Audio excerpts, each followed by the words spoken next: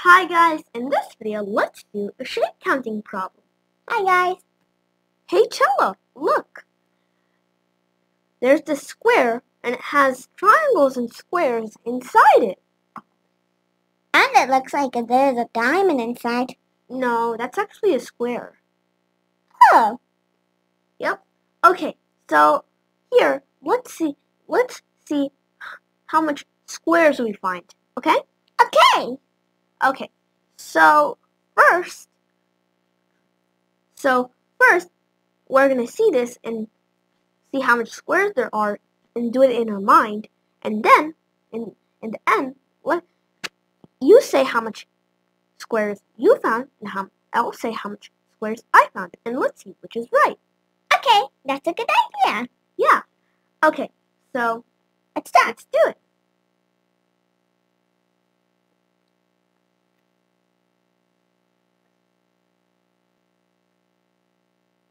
I'm done. Me too. How much did you find? Six. Me too.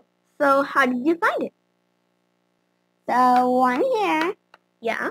So that's one square, two, two square, three, that's the third square, four, that's the fourth square. five, Oh, yeah, that's a square too. six. Oh, and the whole thing. That's how I did it too. Cool. Okay. So we found six squares.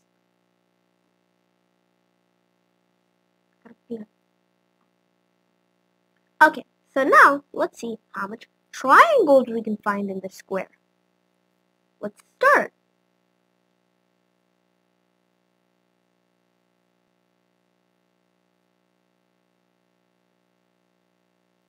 Done.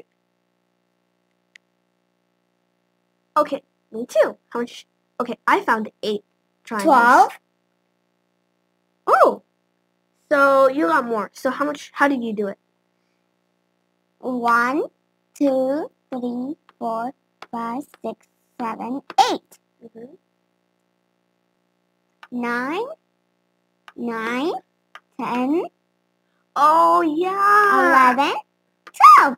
Oh, right beneath my eyes.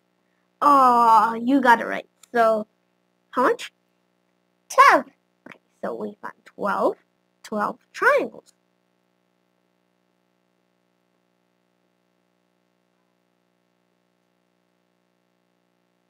Let's do math every day.